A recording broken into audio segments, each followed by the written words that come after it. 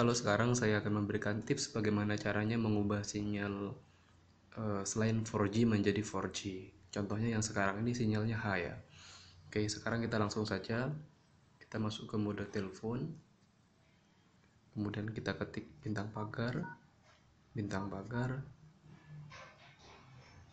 3646633 pagar bintang pagar bintang. Oke, kita cari network selecting SIM 2 kita ganti jadi 4G. 4G di sini ada uh, 4G atau 3G terus yang di sini kita pilih ada LTE only saja. Oke kita lihat sinyalnya.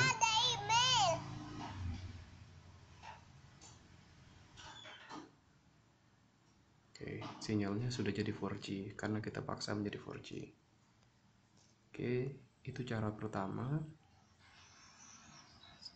oke kalau untuk mengembalikan ke kondisi semula bisa dikembalikan ke yang 4G 3G atau 4G 3G 2G seperti ini.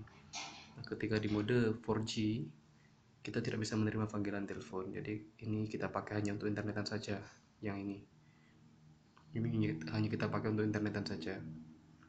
Namun jika ingin kembali menggunakan uh, smartphone kita sebagai telepon kita harus kembalikan ke yang ini 4G 3G atau 2G